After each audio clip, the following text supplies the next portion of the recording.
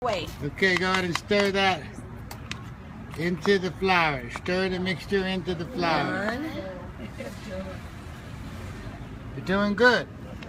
two, You're doing good.